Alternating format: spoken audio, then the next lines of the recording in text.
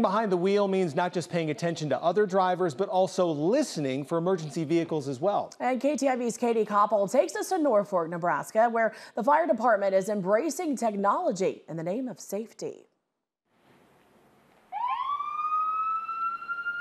Lights, sirens, emergency. Norfolk Fire Rescue has a new piece of technology in their rigs to help drivers on the road in front of them. It's a device that goes in our units that notifies drivers of uh, ambulances that are approaching and or drivers that are approaching an emergency scene. When we get behind the wheel of a car, we know we need to pull over to the side of the road to let emergency vehicles pass. But what if you don't see the lights or hear the sirens? This new technology utilized by Norfolk Fire Rescue alerts drivers through apps or even the radio that they've got emergency vehicles coming up behind them, giving them plenty of time to pull over safely and let those emergency vehicles pass. It's really done in the background.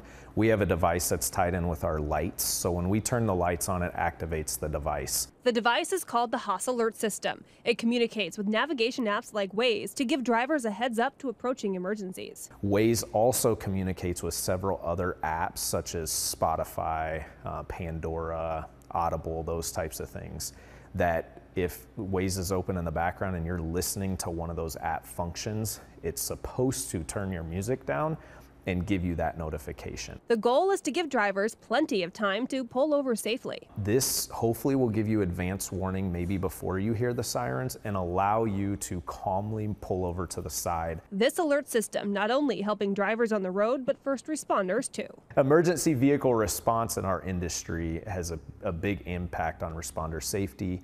Um, so it's imperative for us for injury prevention and potentially saving people's lives and, and having fatalities become part of what we do. So I think having this here and, and notifying people is going to be a big deal for us. In Norfolk, Nebraska, Katie Copple, KTIV News 4. Norfolk Fire Rescue started using the Haas Alert technology in its fire trucks and ambulances in November.